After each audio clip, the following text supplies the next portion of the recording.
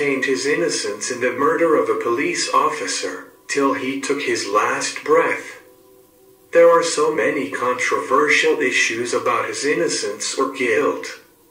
According to the police, Troy Anthony Davis was at a Burger King restaurant with friends and then struck a homeless man named Larry Young in the head with a pistol when Young refused to give a beer to one of Davis's friends.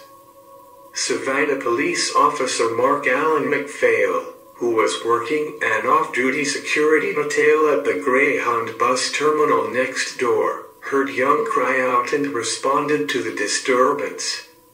Davis fled and Officer MacPhail, wearing his full police uniform, ordered him to stop. Davis turned and shot the officer in the right thigh and chest. Although Officer MacPhail was wearing a bulletproof vest, his sides were not protected and the bullet entered the left side of his chest. Davis, smiling, walked up to the stricken officer and shot him in the face as he lay dying in the parking lot.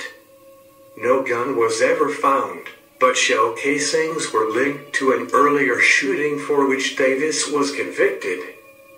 Witnesses placed Davis at the crime scene and identified him as the shooter, but several of them recanted their accounts years later.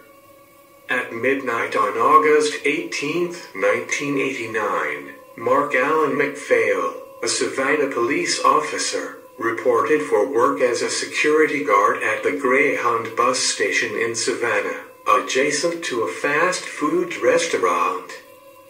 A few hours later, as the Burger King restaurant was closing, a fight broke out in which Davis struck a homeless man in the head with a pistol.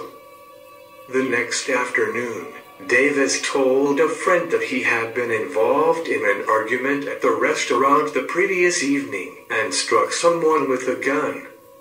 He told the friend that when a police officer ran up, Davis shot him and that he went to the officer and finished the job because he knew the officer got a good look at his face when he shot him the first time. After his arrest, Davis told a cellmate a similar story. A shell casing that was found at the scene of the murder was linked to the Cloverdale Drive shooting. A woman who was staying in a hotel across the street from where Mark MacPhail was murdered identified Troy Davis as the shooter after seeing a photograph of him.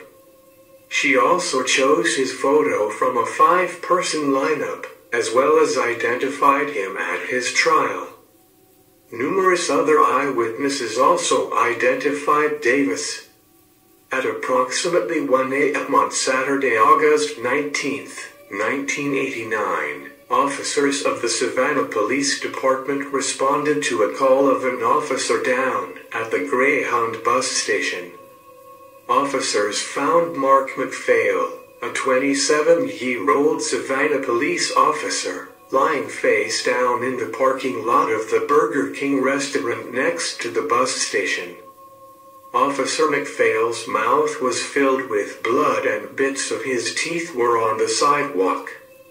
As he began administering CPR to the victim, Officer Owens noticed that the victim's firearm was still snapped into his holster. Sylvester Red, Coles saw Young leave the pool hall next door and began following Young demanding a beer. Cole continued to harass Mr. Young all the way back to the Burger King.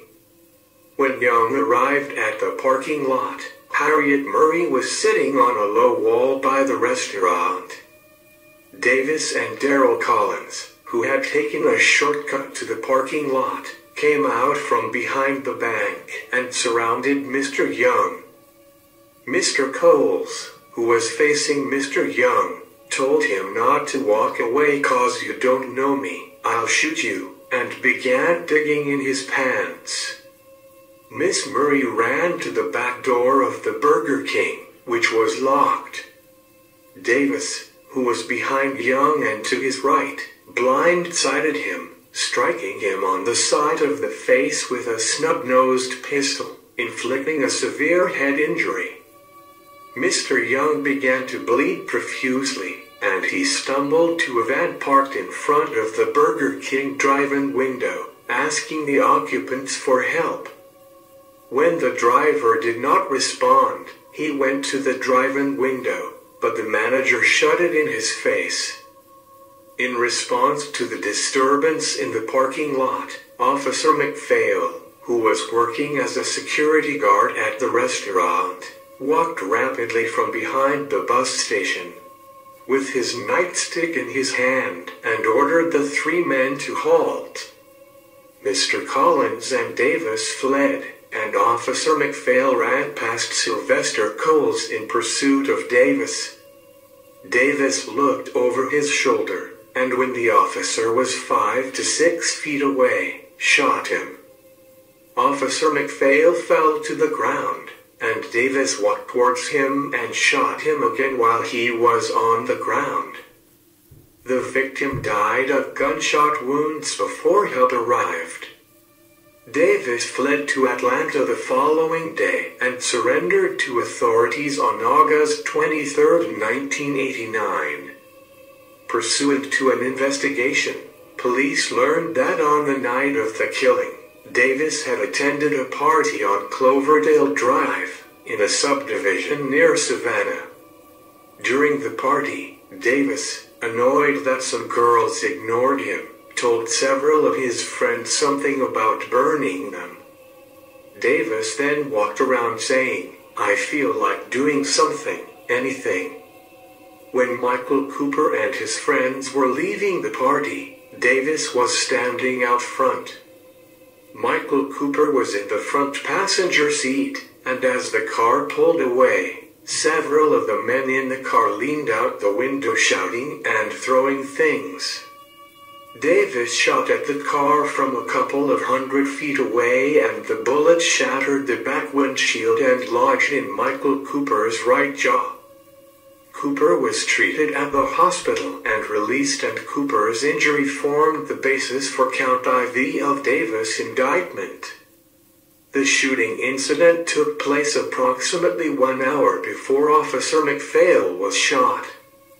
Davis was found guilty of one count of malice murder, one count of obstruction of a law enforcement officer, two counts of aggravated assault, and one count of possession of firearm during the commission of a felony. The jury's recommendation of a death sentence was returned on August 30, 1991. Of the nine witnesses who appeared at Davis's 1991 trial, who said they had seen Davis beating up a homeless man in a dispute over a bottle of beer and then shooting to death a police officer. Mark MacPhail, who was acting as a good Samaritan, seven have since recanted their evidence. One of those who recanted, Antoine Williams, subsequently revealed they had no idea who shot the officer, and that they were illiterate, meaning they could not read. The police statements that they had signed at the time of the murder in 1989 Others said they had falsely testified that they had overheard Davis confess to the murder. Many of those who retracted their evidence said that they had been cajoled by police into testifying against Davis. Some said they had been threatened with being put on trial themselves if they did not cooperate.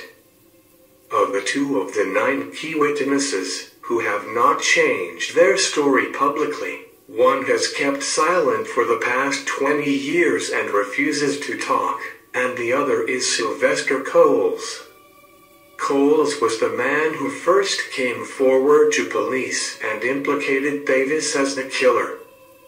But over the past 20 years evidence has grown that Coles himself may be the gunman and that he was fingering Davis to save his own skin. In total, nine people have come forward with evidence that implicates Coles. Most recently, the Georgia Board of Pardons and Paroles heard from Quiana Glover, who told the panel that in June 2009, She had heard Coles, who had been drinking heavily, confess to the murder of MacPhail. Apart from the witness evidence, most of which has since been cast into doubt, there was no forensic evidence gathered that links Davis to the killing. In particular, there is no DNA evidence of any sort. The human rights group The Constitution Project points out that three quarters of those prisoners who have been exonerated and declared innocent in the U.S. were convicted at least in part on the basis of faulty eyewitness testimony. No gun was ever found connected to the murder. Coles later admitted that he owned the same type of 38 caliber gun that had delivered the fatal bullets but that he had given it away to another man earlier on the night of the shooting. Higher courts in the U.S. have repeatedly refused to grant Davis a retrial on the grounds that he had failed to prove his innocence. His supporters counter that where the ultimate penalty is at stake, it should be for the courts to be beyond any reasonable doubt of his guilt. Even if you set aside the issue of Davis's innocence or guilt, the manner of his execution is cruel and unnatural. It would be the fourth scheduled execution date for Davis. In 2008 he was given a stay just 90 minutes before he was set to die. Experts in death row say such multiple experiences with imminent death is tantamount to torture. The Georgia Supreme Court unanimously affirmed Davis' convictions and death sentence on February 26, 1993. After being given several execution dates prior. On September 6, 2011, the Superior Court of Chatham County filed an order setting the seven-day window in which the execution of Troy Anthony Davis may occur to begin at noon on September 21, 2011, and ending seven days later at noon on September 28, 2011. The Commissioner of the Department of Corrections then set the specific date and time for the execution as 7 p.m. on September 21, 2011.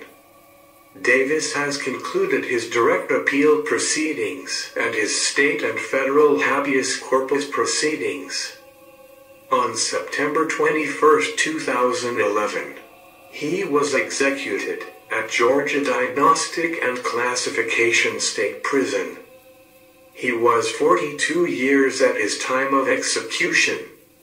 His final words were, I'd like to address MacPhail family let you know, despite the situation you are in, I'm not the one who personally killed your son, your father, your brother. I am innocent. The incident that happened that night is not my fault. I did not have a gun. All I can ask is that you look deeper into this case so that you really can finally see the truth. I ask my family and friends to continue to fight this fight. For those about to take my life, God have mercy on your souls. And may God bless your souls. Thank you for watching Death Row.